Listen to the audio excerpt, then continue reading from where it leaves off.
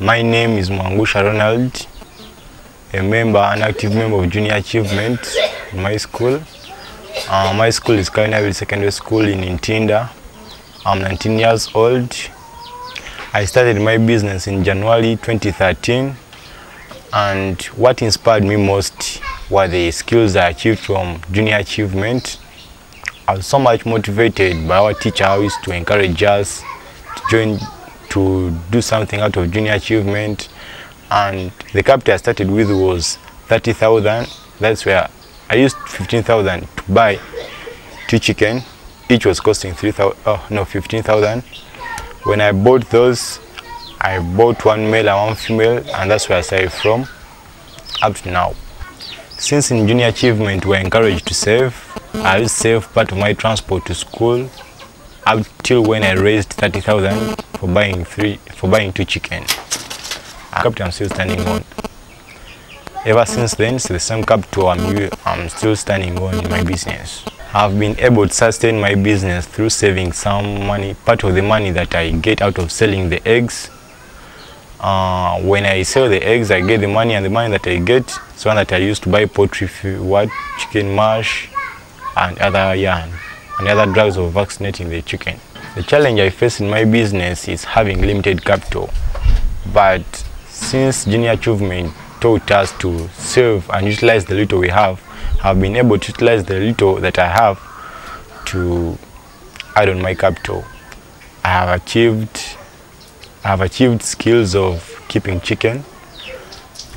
I've got some money to use as my transport, and that's the some part of the profits. I use them as transport to school.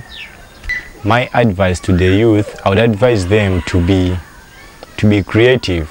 They should look at the chances that we have, the resources that we have, and should be able to utilize them so that they're able to achieve the best out of it.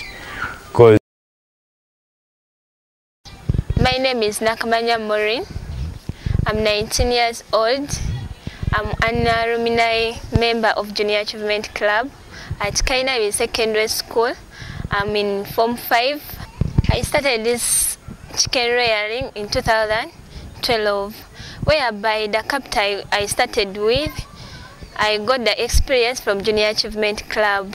They taught us how to save. If you don't have money, you can save the little you have, you can do something. For me, I managed to get the capital through saving my money for breakfast. They can they give me money like 1k, I save 200 like a month. I got some money whereby I bought one chicken. I started with one chicken which was a broiler.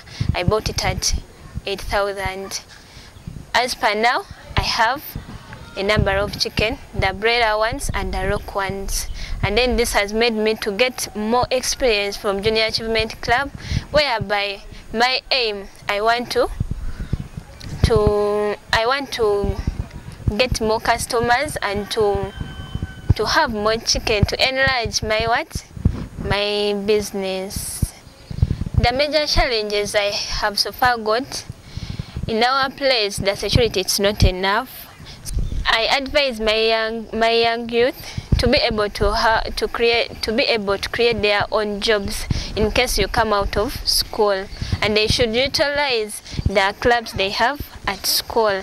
They can be changed. Their life can change like joining junior achievement club smart club where you can get experience which can help you in case you go through the school. You can be able to have something which can you can be running at home as you look for the job